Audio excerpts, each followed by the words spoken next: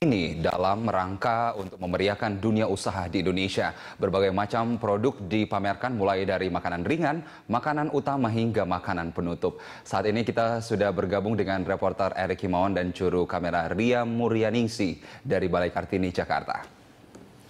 Iya, Erik, apa saja yang menarik yang bisa Anda pantau dari pameran Franchise Expo ini?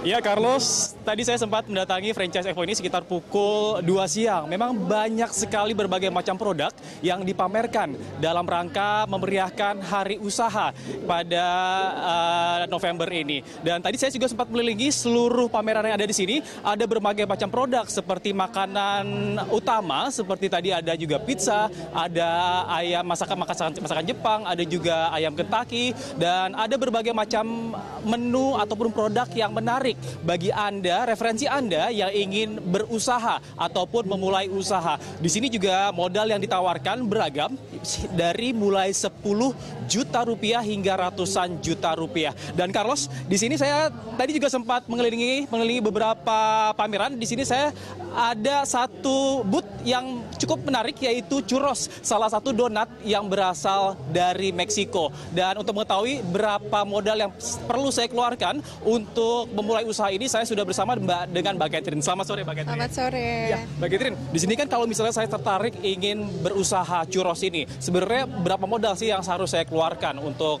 mulai bisnis ini, Pak? Untuk biaya kemitraannya, untuk churros hanya dengan 17 juta 500 rupiah. Hanya 17 juta Mbak ya, itu yang saya dapatkan apa aja tuh? Uh, semua perlengkapannya dan bootnya juga dapat. Semua dapat Betul. ya? Oke, sebetulnya untuk harga churros ini berapa nih Mbak? Untuk yang ditawarkan ke konsumen berapa? Terus untuk harga per, uh, harga bahan bakunya itu berapa? Kita, kita dapat keuntungan berapa nih Mbak? Iya. Untuk proporsinya kita jual dengan harga Rp20.000, isi 4.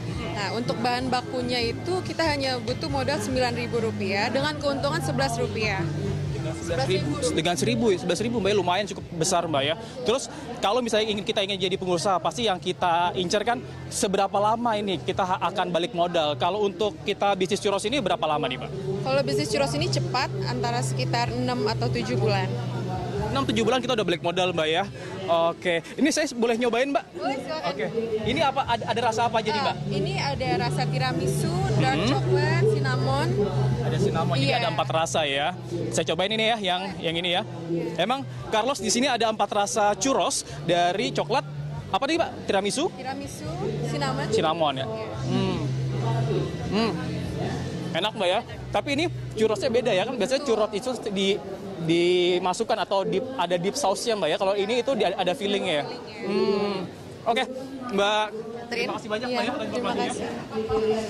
Ya, cur, ya Carlos memang saat ini apabila Anda mengunjungi uh, franchise expo ini Anda bisa menikmati berbagai macam produk yang disajikan oleh pe, pengelola dari pameran di sini.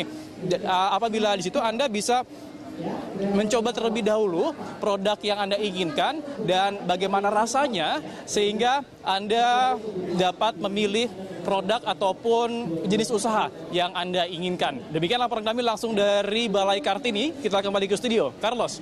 Iya, Erik Anda curang karena mencicipi makanan di sana dan saya dan Faye merasa untuk segera karena jaraknya sangat dekat ya samping kantor. Tapi kemudian kita menginginkan informasi sampai kapan pameran ini akan digelar, Erik.